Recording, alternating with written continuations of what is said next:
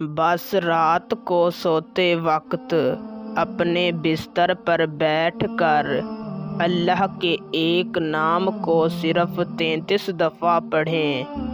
खुदा की कसम, आपका महबूब जहाँ भी होगा, दुनिया के जिस कोने में भी होगा, वजीफ़ा करते ही आपकी मोहब्बत में तड़प उठेगा।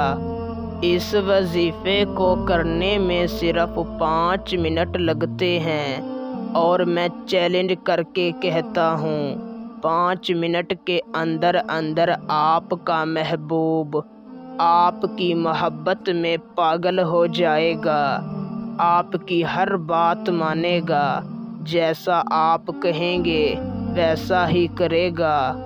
यूँ समझ लें कि आपका महबूब सारी ज़िंदगी के लिए आपका ताबेदार हो जाएगा।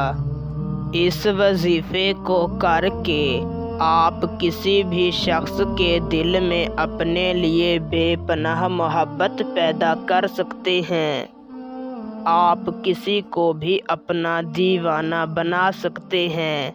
तो बिना वक्त का ज़िया किए आपको वजीफ़ा और उसे करने का तरीक़ा कार समझाते हैं। उससे पहले, अगर आप इस वजीफ़े की इजाज़त मुझसे लेना चाहते हैं तो मेरी इस वीडियो को शुरू से लेकर आखिर तक देखें। और अगर आप हमारे चैनल पर पहली मर्तबा आए हैं तो हमारे चैनल को सब्सक्राइब कर दें। आपको हमारे तमाम वजीफ़ों की इजाज़त है। वजीफ़े को करने का तरीक़ा कार कुछ इस तरीक़ा से है कि आपने किसी भी दिन रात को सोते वक्त पाक साफ़ लिबास पहनकर ताज़ा वज़ू कर लेना है और जिस बिस्तर पर आप सोते हैं उसी बिस्तर पर जाकर बैठ जाना है।